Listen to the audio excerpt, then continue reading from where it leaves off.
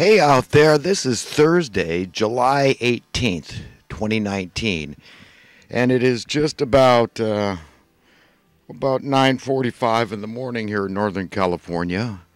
And as usual, I'll get into a lot of different stuff today. I hope everybody's doing fantastic and uh, enjoying their little human lives.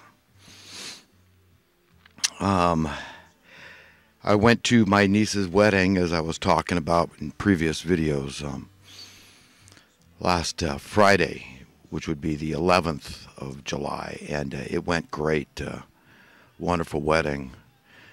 Uh, I'll talk more about that a little later, but um, I had a great time. Didn't stay long. I guess I was there for oh less than six hours, but. Um, nevertheless, it was uh, it was a very enjoyable and memorable six hours. So, um, anyhow, I will uh, discuss that later. I've got that in my uh, talking points that I wanted to review. But you know, I wanted the theme today to be revealing and exposing and pointing out the science of tyranny that has taken over our civilization. Uh, it's the only way I can explain where humanity is at at this point in history. I mean, here we are at the cutting edge of history, 21st century, well into it, about uh, 20%, I guess, into the 21st century. And uh, the situation around the world has regressed in terms of social, political, and economic justice. And we all need to ask ourselves why this is, why we can't seem to make any permanent strides in solving the problems that plague humanity. And I want to point out the precise sources the genesis, the causes, the causers, where the juggernaut is, and who doesn't want the status quo to change in favor of the populations of the earth at large, which is just regular, everyday human beings that are trying to enjoy their little lives that don't seek to be oppressed, but they can't breathe without being oppressed. They can't make a move. It's like a chessboard, and they're the pawns in this game. They have no say so, they have no voice in. You know, and we talk about politics a lot, but how few people really understand what's going on here. And like I've pointed out in previous videos, that if this was just a problem of Democrat, Republican, or socialist, capitalist, or liberal, conservative, I'd tell you, I've got no motivation. I've got no ulterior motive not to tell you because I'm trying to be a friend to humanity. I'm trying to be God's friend. I'm trying to be a good brother to humanity. And above all, I simply want to be happy because I'm a selfish man. And I have realized in seeking to be happy, knowing that is a cherished American value, this right, and rights and responsibilities uh, are very close in relationship. So when you have a right that you don't exercise, you are remiss in your responsibility in seeking that right, in, in trying to exercise that right. And I've realized that in order to be happy, it's not the kind of thing I can go alone. Like wise people have said in the past, no man is an island unto himself, and of course I am no exception, and neither are you. We've got to go this thing together as a family because this is the only way we can please our owner, which of course is God Almighty. And this owner, this God Almighty, is the grantor of happiness. So we realize that ultimately we must please God. And so we need to find ways to do that. We need to care about our fellow human beings. This is how we show that we love our fellow human beings. And this is what we do when we love ourselves, when we care about ourselves, when we seek to find true, permanent, not only lasting, but permanent happiness in a wholly corrupt realm. And that realm is human civilization on planet Earth in the 21st century. We're a mess. We're in a lot of trouble, and we need big help. Okay, and I want to point out first and foremost, if you haven't noticed, how we're in trouble.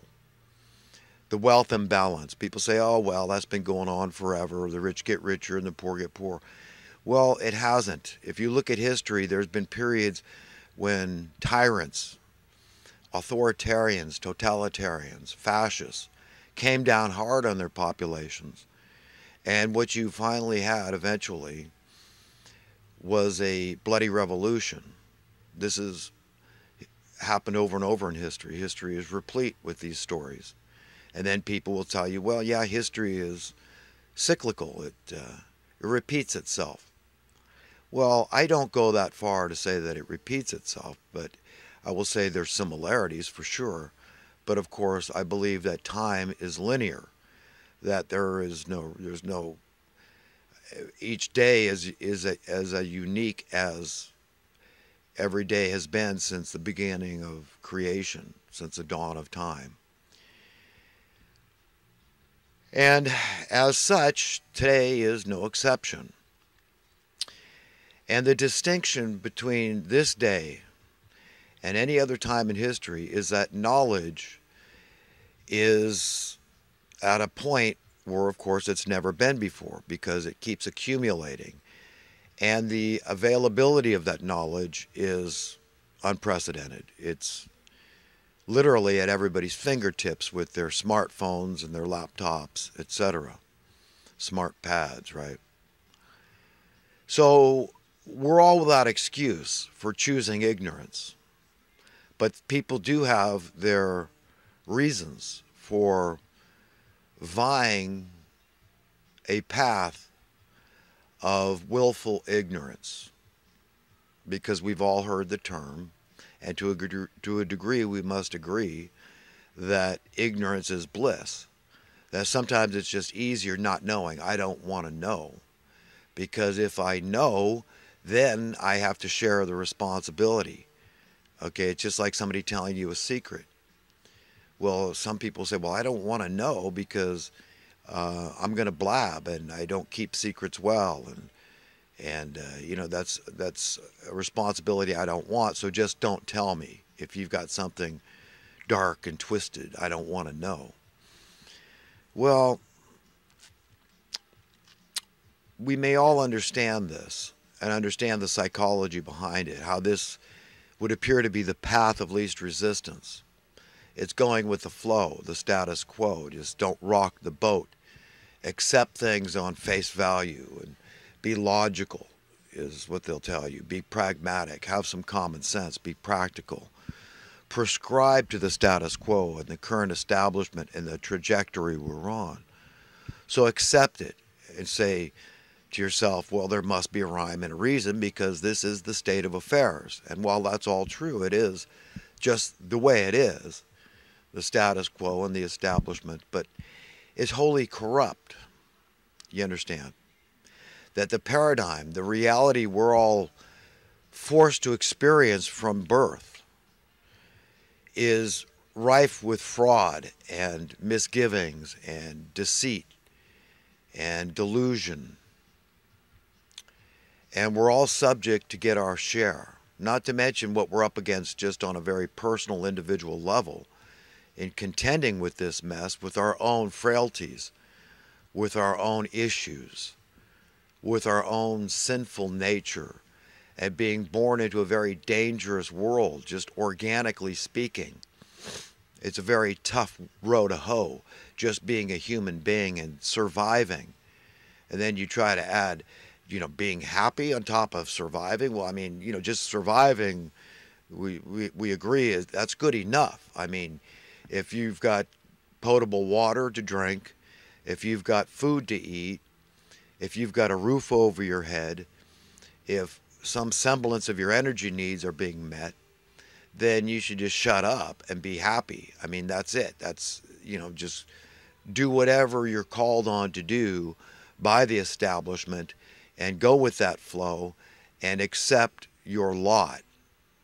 And if your lot just keeps getting harder and harder, if the bar to survive just keeps getting higher and higher and more out of reach, if the nut you need to crack to survive just gets harder and harder and harder, well, then use your God given intelligence, the wherewithal that you have to figure out how to continue to survive. So, this is social Darwinism writ large, really.